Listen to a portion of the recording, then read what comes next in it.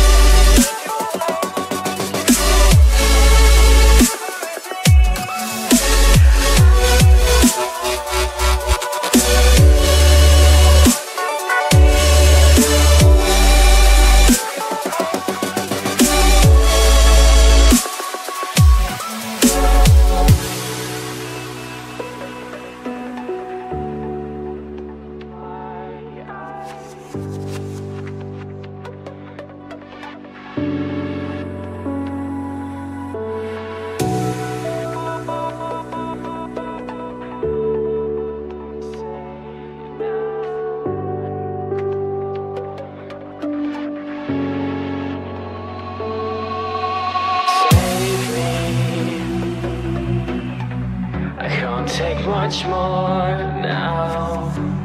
I can't hold on to everything I don't